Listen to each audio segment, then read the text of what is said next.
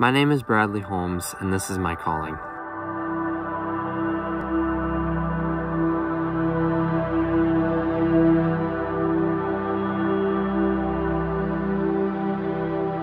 I got my call to ministry in between my sophomore and senior year of high school. I was born and raised in a Christian family, I went to the same church my whole life, so I had a super solid spiritual foundation growing up. But I remember from a very young age just feeling a little bit different. Looking back, I, I think that this was sort of an anointing that God had placed on my life from a very young age. Um, but at the time, I didn't really realize that. More often than not, when God tries to use something for good, uh, the enemy obviously does the exact opposite.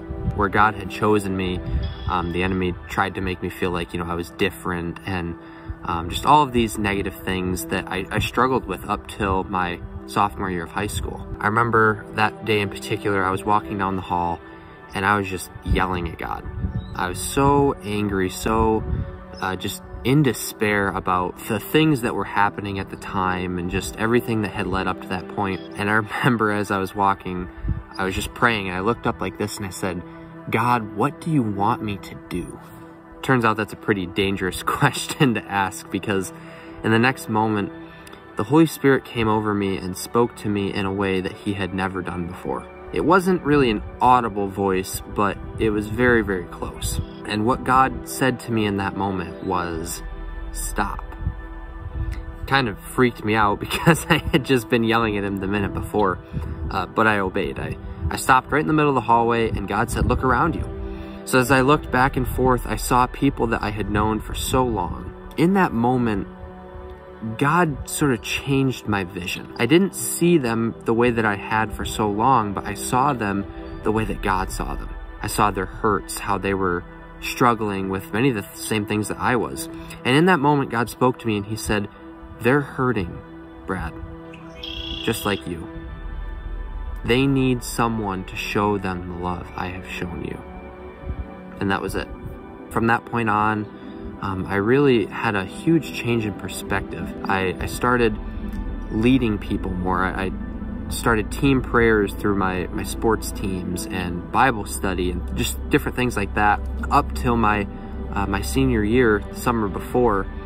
It was really a slow progression of events that God began to speak to me and I started to get the idea that maybe I was supposed to be a pastor. The summer before my senior year, I was going to a college-aged, end of high school ministry type thing. That Friday night that it, it took place, I remember I was driving home, I think, to then go to this ministry. I was just praying again. I said, God, you know, if you want me to be a pastor, I'm gonna have to go to private school and go into debt and all of these different things and it's just, it's not gonna work. And again, in one of the clearest voices, God just said, don't worry about it.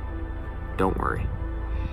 And I was like, well, whatever, we'll see how this goes. That night, I remember I, I spoke at this ministry just like maybe a minute or two up on stage and my youth pastor at the time and my sister were both present. They both told me later that without talking to each other, they both felt in that moment as I was on stage that they were supposed to tell me I was supposed to be a pastor.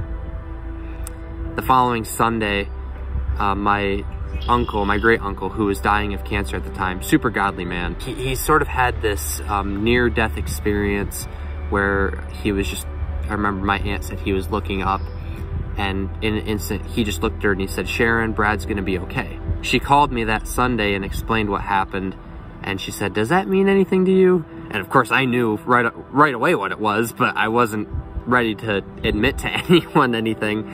So I was just like, oh, I don't know, that's kind of weird. this thought popped in my head and I said, hey Aunt Sharon, when did he say that? And she said, oh, I think that was Friday night. It was just really cool to see how three people in my life all at the same time had this divine sense that I was supposed to go into ministry. From that point on, you know, I, I just said, well, God, if I'm truly going to be okay, if that message was from you, then I will do it. As of right now, I just graduated uh, with my bachelor's degree um, in Christian ministries. All of my concerns have been dealt with so far.